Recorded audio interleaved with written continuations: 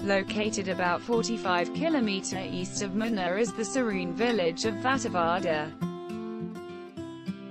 At Vattavada, in comparison to other regions in Munnar, instead of tea plantations, it is the predominance of vegetables that occupy the terraced slopes and valleys of Vattavada. The scenic hilly tract of Vattavada is at an altitude of 6,500 feet above sea level, and is a refreshing experience, which is yet to come under the constant gaze and the footprints of visitors.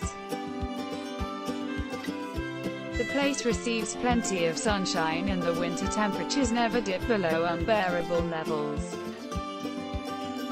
Besides the slopes of vegetable fields, one could also find forest patches, interspersed with eucalyptus and conifers.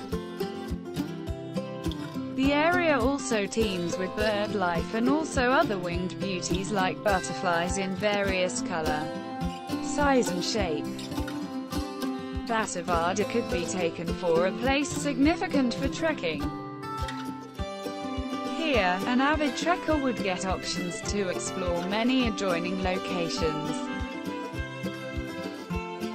Some of the trekking routes starting from Vattavada include the ones going to Kodaikanal, Top Station, Mattupetty, Kanthalur and Meesapulimala. Most of these treks offer enough excitement in terms of negotiating the terrain as well as enjoying the floral and faunal wealth on its course.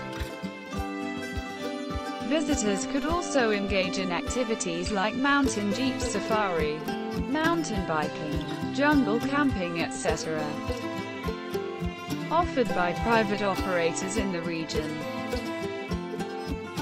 The local populace of Vattavada has a significant number of tribals.